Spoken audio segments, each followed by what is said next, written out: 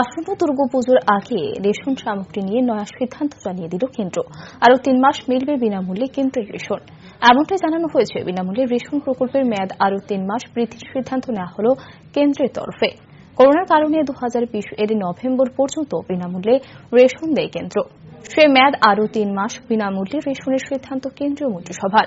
এর আগে বাজেট প্রস্তাবের সময় কেন্দ্রীয় অর্থমন্ত্রী দাবি করেছিলেন এর ফলে উপকৃত হয়েছেন দেশের আশি কোটি মানুষ। কেন্দ্রের এই সিদ্ধান্তে খুশি দেশবাসী